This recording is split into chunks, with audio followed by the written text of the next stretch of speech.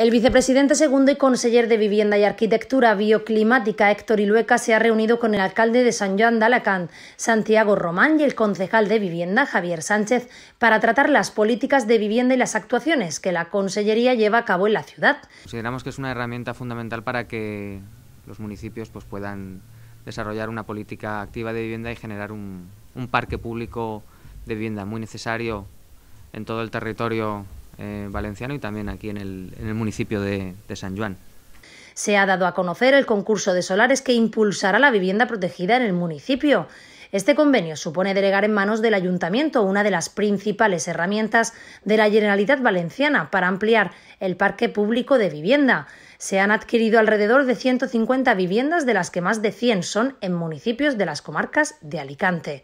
Y que en definitiva supone pues, una, pues algo tan necesario eh, para, para, sobre todo para, para, los jóvenes, ¿no? como es el acceso a, a la vivienda.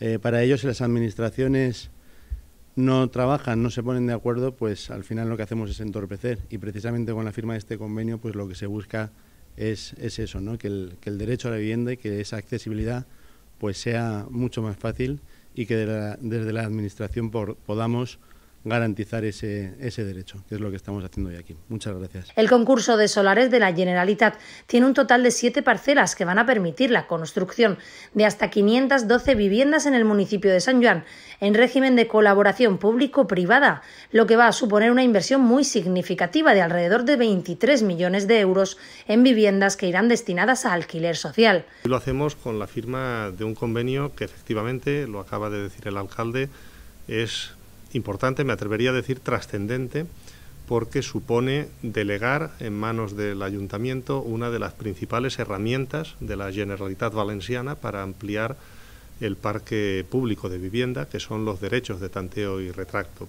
y que pueden servir para que colectivos como, por ejemplo, nuestros jóvenes eh, puedan abrirse paso en la vida, forjarse un proyecto, tener un horizonte. En definitiva, lo haremos en régimen de colaboración público-privada, de la que soy un firme defensor. Vamos a poner en juego fondos europeos para hacer posible eh, este horizonte al que me refería y con la finalidad eh, siempre de que eh, en última instancia esas viviendas reviertan en el parque público transcurrido un determinado periodo de tiempo. Creo. Este acuerdo tiene una duración de cuatro años y dota de mayor estabilidad para desarrollar esta iniciativa.